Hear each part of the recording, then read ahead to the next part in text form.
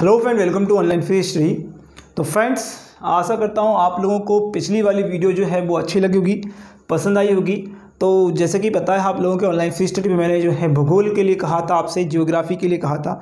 तो जियोग्राफी हमने स्टार्ट कर दी है और जियोग्राफी में हम जो है हमने कल डिस्कस किया था इंट्रोडक्शन यानी कि हमने पढ़ा भूगोल कहाँ से आया, किसने बनाया, यूनानियों ने जो है कौन कौन यूनानी थे, एकेटियस था, एकेटियस के बाद जो एरोटसनिस था फिर अलेक्जेंडर बोल्ड हमबोल्ड आए, फिर के, फिर उसके बाद, ओके, पॉलीडोनिस ने जो है भौतिक भूगोल की जो है रचना करी, ओके, और उसके बाद फेडरिक रेटजल ने जो है मानव भूगोल की रचना करी, उसके बाद ग्लोब किसने बनाया, मैप किसने बनाया, इंडिया का मैप जो है टॉलमी ने बनाया आएगा ओके, अगर बात करें मैप जो है एक्चुअल में किसने बना तो एनेक्सी मेंटर आएगा और मार्टिन बिहन ने जो है ग्लोब की जो है रचना करी। तो ये सारी चीज़ें हमने करी थी प्लस हमने जो है देखा था कि भूगोल को विषय के रूप में आप तीन तरीके से बांट सकते हैं। पहला आएगा इंडियन ज्योग्राफी दूसरा आएगा आपका वर्ल्ड जियोग्राफी तीसरा आएगा आपका क्या?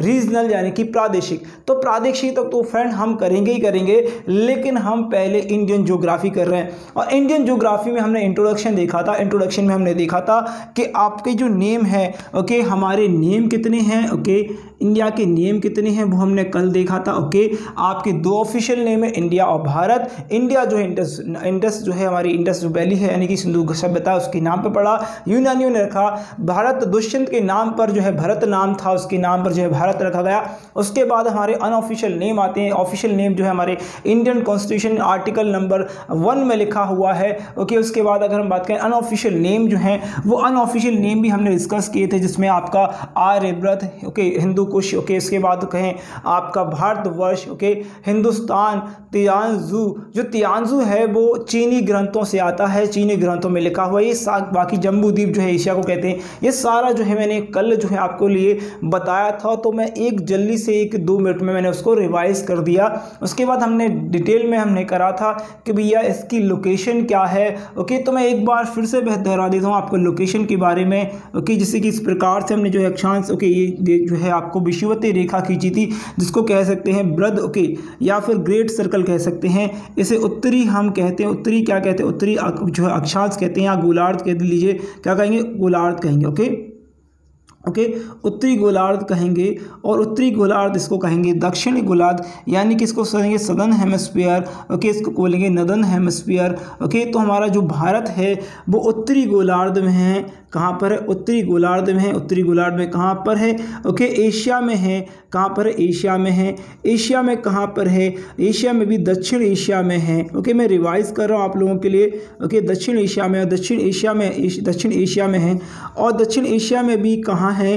तो दक्षिण एशिया में, फ्रेंड्स, आपका भारतीय उपमहाद्वीप है। क्या है? भारतीय उपमहाद्वीप भारतीय उपमहाद्वीप में है, ओके, भारतीय सब कॉन्टिनेंटल में है, ओके तो मैंने ये आपको बताया था और भारतीय उपमहाद्वीप में आपका नेपाल, भूटान, ओके, भारत, पाकिस्तान और आपके ये देश आते हैं, पाँच देश जो हैं, आते हैं तो ये मैंने जो है कल की वीडियो में आपको बता दिया था तो एक जस्ट जो है रिमाइंडर के लिए आपको याद करने के लिए और कई सारे क्वेश्चन जो है हमारे बनते हैं इन चीज़ों से तो फ्रेंड्स अब हम बहुत ही इंपॉर्टेंट टॉपिक करने वाले हैं ओके तो इस इंपॉर्टेंट टॉपिक को फ्रेंड्स आराम से पढ़िएगा।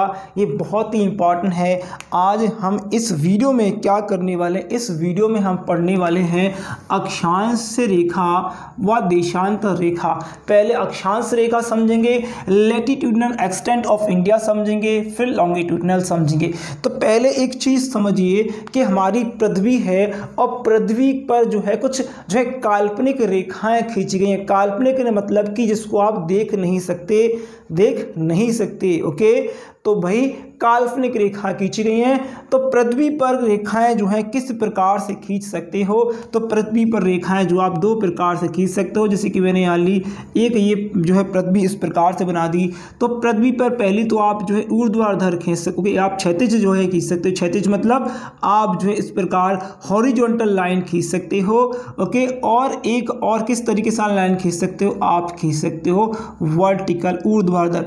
एक तो आप क्षतिज तरीके से जो है अपनी लाइनें खींच सकते हो। उसके बाद आप जो ऊर्ध्वाधर ओके आप या फिर वर्टिकल खींच सकते हो या फिर आप हॉरिजॉन्टल खींच सकते हो। दो तरीके से आप खींच सकते हो। इस वाली लाइन को जो आपको दिख रहा है यानी कि आपका जो है वर्टिकली दिख रहा है। क्या दिख रहा है आपको? यहाँ पर वर्टिकली दिख रहा है। ये वाली लाइन जो दिख रही हैं ओके जिस प्रकार से मैं आपको जो है आ, मैप में भी दिखा दूँगा, मैप में भी क्या है उसको दिखा दूँगा। तो इसको कहते हैं अक्षांश। क्या कहते हैं? अक्षांश रेखा ओके क्या बोलते हैं? अक्षांश रेखाएँ या अक्षांश रेखा कहते हैं, ठीक है? ओके और इस वाली रेखा को किसको? इस वाली रेखा को, किसको? इस वाली रेखा को हम कहते हैं देशांतर। क्या कहेंगे? देशांतर रेखा, ठीक है? देशांतर रेखा ओके देशांतर रेखा कहेंगे ओके तो ये देशांतर रेखा है, ये वाली जो, ये खींची हुई है ये देशांतर रेखा इस प्रकार की ओके ये जो है हमारी जो है ऊर्ध्वाधर खींची हुई है, यानी कि ये वर्टिकल खींची हुई है और जो हॉरिजेंटल है, वो अक्षांश रेखा है। ठीक है? तो आज जो है हम मेनली पढ़ने वाले अक्षांश रेखा, ओके तो अक्षांश रेखा हम पढ़ेंगे और अक्षांश रेखा से और आपका जो देशांतर रेखा से है, बहुत सारे क्वेश्चन बनते हैं, बहुत सारे प्रश्न हर एग्ज़ाम में आते हैं, ओके? तो ध्यान रखिए, हमारा जो इंडिया है हमारा जो भारत है, उसका लोकेशन जो है, अगर देशांतर रेखा की बात करें, उसका लोकेशन जो है आपको दिखता है, क्या दिखता है? आपका लोकेशन जो है, ओके, याद रखिएगा ये लोकेशन ओके लोकेशन जो है, यानी कि आपकी अवस्थिति, ओके, क्या हम लोकेशन लिख लेते हैं या अवस्थिति लिख लेते हैं? ओके, आपकी अवस्थिति जो है देशांतर, यानी सॉरी अक्षांश के अनुसार तो कितनी है? आठ डिग्री। कितनी है? आठ डिग्री चार अंश नॉर्थ, ओके? नॉर्थ, क्या है? North, okay? To, thirty seven degree six अंश। थर्टी सेवन डिग्री सिक्स अंश नॉर्थ है, नॉर्थ तक है, ओके? उसके बाद जो है सिक्सटी एट डिग्री, सेवन अंश या सेवन कहें तो ये ईस्ट में है क्या है ईस्ट है, ओके? ईस्ट से लेकर कहाँ तक है, ओके? इसके बाद नाइन्टी सेवन डिग्री क्या है? Ninety seven degree, okay? Ninety seven degree, उसके बाद कहाँ तक होगी? नाइन्टी सेवन डिग्री होगी और नाइन्टी सेवन डिग्री पॉइंट यहाँ पर आप बोलेंगे ट्वेंटी फाइव। क्या बोलेंगे आप? ट्वेंटी फाइव ईस्ट आएगा, ओके? ईस्ट बोलेंगे। ठीक है? तो ये जो है, आप पूर्व की ओर है। पहला हमने देखा उत्तर से कहाँ है? आठ डिग्री चार अंश है, ओके? वहाँ कहाँ तक है? सैंतीस डिग्री छः अंश तक। उत्तर की ओर सिक्सटी एट डिग्री सेवन अंश तक। ईस्ट यानी पूर्व की ओर है। इसको बोलते हैं पूर्व, ओके? इसको बोलते हैं आपका उत्तर, ठीक है? मैंने बताया था आपको ये बनाकर कि भैया ये जो होता है, वो उत्तर है, नॉर्थ है और ये यहाँ पर साउथ है, ये ईस्ट है यहाँ पर और ये वेस्ट है, ओके? ठीक है? मैंने ये बताया था तो याद रखिएगा, बहुत ही इंपॉर्टेंट कॉन्सेप्ट है, थोड़ा ये दिशाएँ याद रखना पड़ती हैं, ओके? तो भैया, ये जो है, यानी कि अक्षांश है, अक्षांश की डेफिनेशन क्या हो सकती है? ओके अक्षांश की डेफिनेशन क्या है? इसको जो है डेफिनेशन कैसे करेंगे? डिफाइन कैसे करेंगे? तो किसी स्थान, क्या बोलेंगे हम? किसी स्थान की पृथ्वी से, कहाँ से? पृथ्वी के सॉरी पृथ्वी के जो है, पृथ्वी के केंद्र से, कहाँ से? पृथ्वी के केंद्र से। ठीक है? केंद्र से मापी गई, क्या? मापी गई कोणीय दूरी, क्या? कोणीय दूरी। कोणीय दूरी को हम क्या कहते हैं इंग्लिश में? एंगुलर, क्या बोलेंगे? एंगुलर डिस्टेंस, ठीक है? क्या बोलेंगे? Angular distance. जो है, उसे क्या बोलते हैं? अक्षांश रेखा बोलते हैं। क्या बोलते हैं? अक्षांश रेखा बोलते हैं। ठीक है? तो ये तो हो गई हमारी अक्षांश रेखा की बात। क्या हुई? अक्षांश रेखा की हमारी बात हो गई है। तो फ्रेंड्स, ये हमने अक्षांश रेखा की बात करी। अब अक्षांश रेखा में हमने बात कर ली, लेकिन फ्रेंड्स अक्षांश रेखा हम कैसे समझेंगे कि ये अक्षांश रेखा बनी कैसे कैसे आई, कहाँ से बनी? तो इसके लिए पहले मैं इसको रफ कर देता हूँ, ठीक है? ये आई होप आपने ये लिख लिया होगा, ठीक है? बाकी हम इसे रफ कर देते हैं, ओके? आज सिर्फ़ हम अक्षांश रेखा पढ़ेंगे, बाकी कल देशांतर भी हम पढ़ेंगे, ठीक है? अक्षांश रेखा, ओके? तो अक्षांश रेखाओं में हमारे पास इंपॉर्टेंट क्या है? कि भैया पहली चीज़ आप क्या करिए कि एक छोटा सा जो है हमने पृथ्वी यहाँ पर ड्रॉ कर ली। ओके पृथ्वी हमने ड्रॉ कर ली, ठीक है? अब हमने बोला था पृथ्वी के केंद्र से कहाँ से? पृथ्वी के केंद्र से कहाँ से भैया? पृथ्वी के केंद्र से, किसी स्थान के केंद्र से ओके एंगुलर डिस्टेंस को। क्या? एंगुलर डिस्टेंस केंद्र मतलब मैं यहाँ पर बोल लेता हूँ इसको केंद्र को, ठीक है?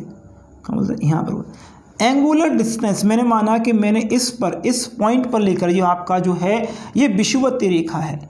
इसको हम क्या बोल सकते हैं? विश्वत रेखा बोल सकते हैं, या हम इसे बोल सकते हैं बृहद या लार्ज। सबसे बड़ा सर्कल हम बोल सकते हैं, अक्षांश। सबसे बृहद अक्षांश हम इसे बोल सकते हैं, जो कि पृथ्वी को दो भागों में विभाजित करता है। क्या करता है?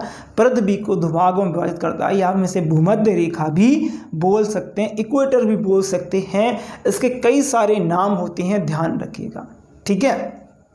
ओके तो इसकी डिस्टेंस मैंने पहले ही बताई थी चालीस हज़ार ओके चालीस हज़ार छियानवे किलोमीटर।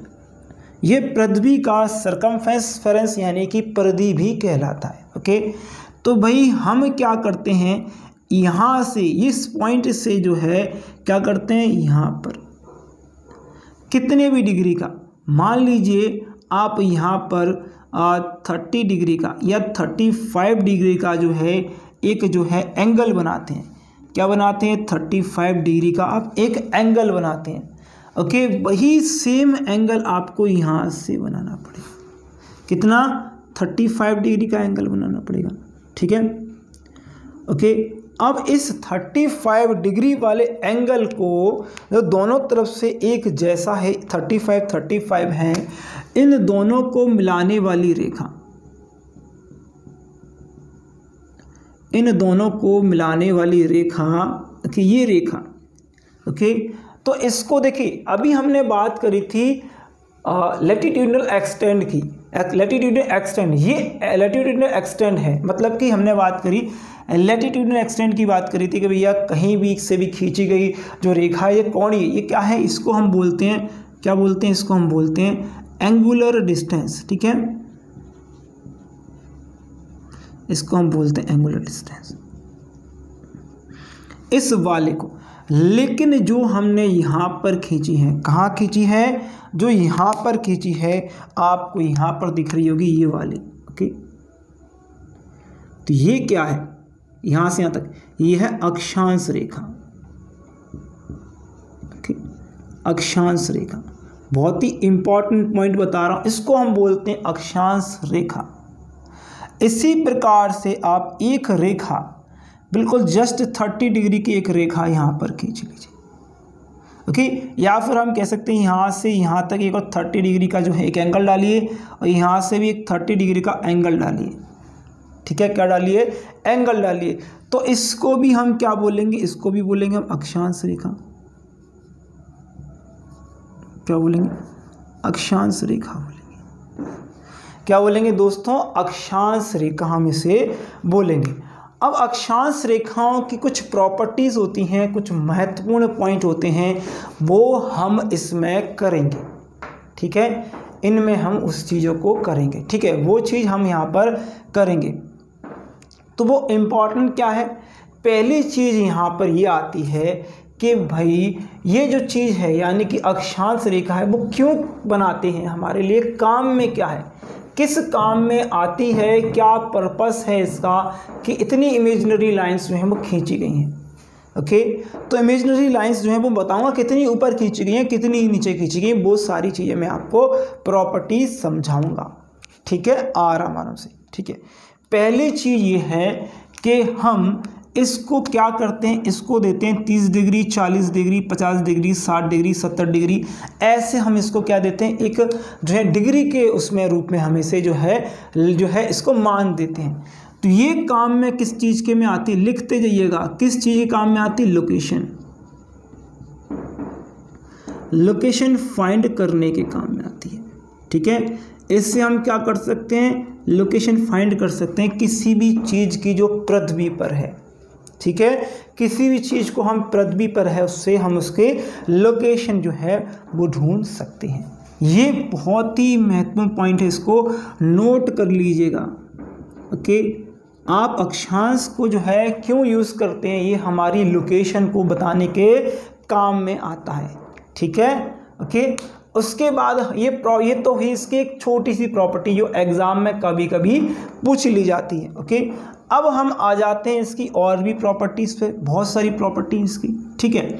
तो ये कैसे खींची हुई रहती हैं? ये कैसे खींची हुई रहती हैं भाई? ये क्षैतिज, ये इस प्रकार क्षैतिज खींची रहती हैं ओके जो है हॉरिजेंटली खींची जाती है, कैसी? क्षैतिजी क्षैतिज की ओर खींची जाती हैं हॉरिजेंटल खींची जाती हैं ओके और एक इनका बहुत ही इंपॉर्टेंट पॉइंट होता है कि भैया, जिस प्रकार से मान लीजिए, ये जो है हमने एक पृथ्वी की ड्रॉ की, दोबारा मैं पृथ्वी, जब बार बार मैं आपको समझाऊँगा ओके तभी आपको जो है सही से समझ में आएगा ओके कि ये हमने पृथ्वी एक ड्रॉ करी, उसमें हमने कुछ अक्षांश रेखाएँ ओके जैसे कि हमने जो है इसको विश्वत रेखा हमने जो खींची थी इस प्रकार। क्या खींची थी विश्वत रेखा। और यहाँ पर जो है, हमने क्या खींची थी इस प्रकार से ये जो है, लाइन खींची थी ओके, इस एंगल को हमने इस प्रकार से खींचा था। इनको हमने कुछ इस प्रकार खींचा था। ओके तो ये होता क्या है? देखिए इस प्रकार हमने खींची थी लाइनों को, ठीक है? इनमें एक बहुत ही महत्वपूर्ण प्रॉपर्टी होती है। देखिए, ये जो आपकी विषुवत रेखा है, इसको हम इक्वेटर कहते हैं, भूमध्य रेखा कहते हैं ओके भूमध्य रेखा या बृहद सर्कल ग्रेट सर्कल ऐसे हम कह सकते कहते हैं, ठीक है? तो अब होता क्या है, ये जो रेखाएँ हैं, इस प्रकार की रेखाएँ खींची हैं, वो कभी भी कभी भी जो है एक दूसरे को नहीं काटती, ना एक दूसरे पे मिलती हैं। जब भी कोई भी ऐसी रेखाएँ जो समान, कैसी? समान अंतर, कैसी समानांतर हों, या कहें एक दूसरे को ना काटें और एक दूसरे के पैरलर होती जाएँ, कैसे हों? ये पैरलर हैं। कैसी हैं भाई? ये कैसी हैं? ये पैरलर हैं। ठीक कैसी हैं, ये पैरलर हैं। ये भी कैसी पैरलर ये भी इसके पैरलर ये भी इसके पैरलर ये तीनों पैरलर हैं। तो अब ये पैरलर हैं तो भैया, इसको एक प्रॉपर्टी क्या गई है हमेशा कैसी होंगी? समानांतर। ओके समानांतर होंगी और ये एक दूसरे को, एक क्या होगा? एक दूसरे को कभी नहीं काटेंगे। मैं लिखते जाइएगा, ठीक है? मैं बोलते जा रहा हूँ, कुछ सारी चीज़ लिखते जाइएगा। यह सारी की सारी रेखाएँ जो होती हैं, विषुवत या भूमध्य रेखा के समांतर और एक दूसरे के समांतर होती हैं, जो कि एक दूसरे को कभी नहीं काटती। ठीक है? ये लिख लीजिएगा। ठीक है? अब दूसरा पॉइंट आता है, जैसे कि अब यहाँ पर मैंने एक और रेखा खींची है। एक रेखा खींची। एक रेखा और ये खींची। ओके? तो आप लिख सकते हो कि देखिए, ये वाली रेखा और ये वाली ये वाली ये वाली ये वाली। इसमें सबसे बड़ी रेखा यहाँ पर होती है, जो कि चालीस हज़ार छियानवे किलोमीटर की होती है। ओके? और ये सारी रेखाएँ जितनी ध्रुव के ऊपर जाती हैं, ओके, ध्रुव उत्तरी और दक्षिणी ध्रुव के ऊपर जाती हैं, जाती जाती हैं तो ये क्या करती हैं? छोटी होती जाती हैं, छोटी होती जाती हैं, ठीक है?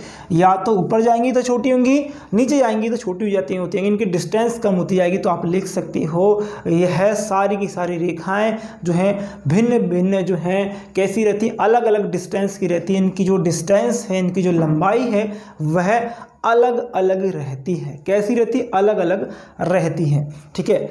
और समांतर रहती हैं, प्लस एक दूसरे को कभी किसी बिंदु पर नहीं काटती। जैसे कि अगर हम बात करें, ये यहाँ पर डिस्टेंस भी इसकी इक्वल होगी। ओके ये वाली अगर आप बात करें, ये वाली डिस्टेंस भी इक्वल होगी। अगर हम बात करें, ठीक है? तो ये वाली डिस्टेंस भी इक्वल होगी यहाँ पर ये वाली डिस्टेंस भी इक्वल होगी, ये वाली ओके और ये वाली डिस्टेंस भी इक्वल होगी। तो सारी डिस्टेंस इक्वल है। अब कौन बताएगा मुझे कि इक्वल डिस्टेंस हैं? जब इक्वल डिस्टेंस हैं तो इस यानी कि बराबर दूरी पर हैं, समानांतर हैं तो इनकी कुछ दूरी होगी, कुछ निश्चित दूरी होगी तो उस निश्चित दूरी जो है वो कितने किलोमीटर की होती है? तो वो होती है 111 किलोमीटर की।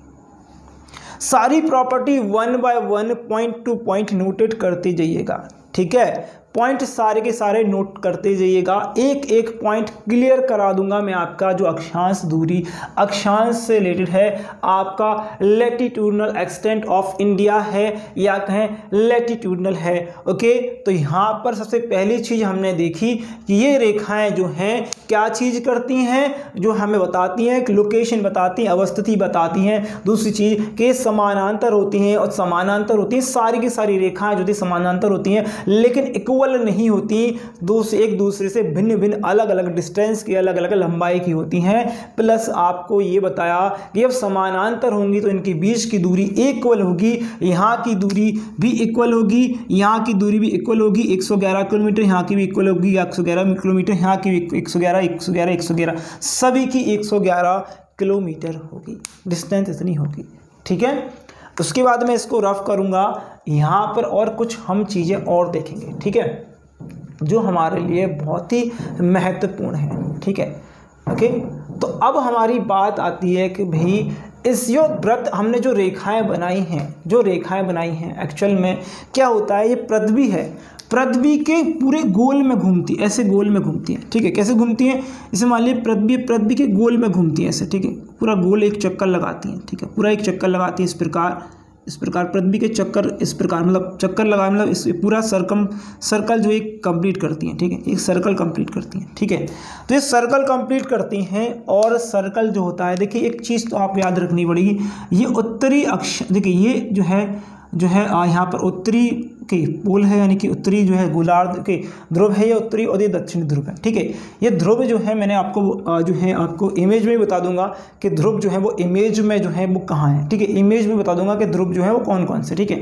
ओके उत्तरी ध्रुव और दक्षिणी ध्रुव, ठीक है?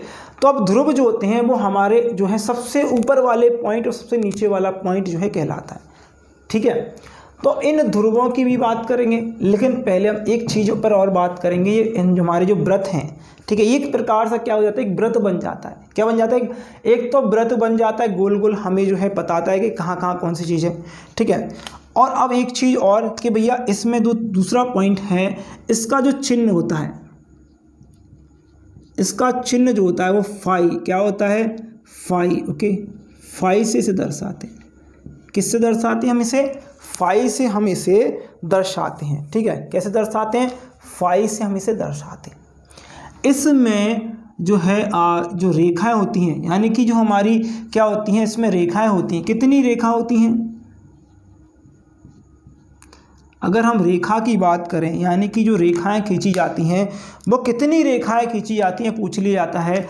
अब पृथ्वी में अक्षांश रेखा कितनी होती हैं? तो एक सौ इक्यासी। एक सौ इक्यासी रेखा और व्रत कितने होते हैं? व्रत कितने होते हैं? वन सेवेंटी नाइन बहुत सारे स्टूडेंट को कन्फ्यूज़न होगा। यहाँ पर वन सेवेंटी नाइन और रेखाएँ वन एट वन क्यों? ऐसा क्यों? ये मैं आपको क्लियर करूँगा इस चीज़ से। एक बहुत ही प्यारा सा जो है हम एक प्रति बनाएँगे। काश ऐसा होता कि प्रति बनाते, लेकिन ऐसा नहीं होगा। ठीक है? अब इस पृथ्वी में हमने अक्षांश रेखा खींची। ओके क्या खींची? अक्षांश रेखा। एक, एक और एक और पॉइंट ध्यान दीजिएगा। एक और पॉइंट मैंने आपको नोट नहीं कर पाया नोट कर लीजिएगा। यहाँ पर जो है नब्बे अक्षांश रेखा खींची जाएँगी। कितनी खींची जाएँगी? और यहाँ पर भी अक्षांश रेखा नब्बे खींची जाएँगी। कितनी, इतनी ऊपर भी नब्बे खींची जाएँगी और नीचे भी नब्बे अक्षांश रेखा खींची जाएँगी। कितनी खींची जाएँगी? अक्षांश रेखा कितनी की नब्बे यहाँ पर ऊपर भी आएगी नब्बे और नीचे भी नब्बे खींची जाएँगी। और एक होगी आपकी क्या? विषुवती रेखा। ओके, रेखाएँ कितनी खींची जाएँगी? एक तो यहाँ पर नब्बे और नीचे नब्बे और एक आपका बीच में चली रही तो रेखाएँ कितनी हो गई? रेखाएँ हो गई नब्बे और नब्बे, वन एट्टी और आपका एक प्लस कर दीजिए, कितना होगा? एक सौ इक्यासी। कितनी रेखाएँ होगी? एक सौ इक्यासी रेखा ये हमने सिद्ध कर दिया। अब हमें व्रत यानी कि सर्कल जो है क्या आ, सर्कल जो है वो सर्कल हमें पता नहीं। है ये बहुत सारे स्टूडेंट को कन्फ्यूज़न होता है। ये हमारा जो है नॉर्थ पोल है ये हमारा साउथ पोल है। ये हमारा उत्तरी ध्रुव है ये दक्षिणी ध्रुव है। क्या? उत्तरी ध्रुव है। ओके ध्रुव है ओके ये लिख लीजिएगा। उत्तरी ध्रुव ठीक है? और ये है हमारा दक्षिणी ध्रुव।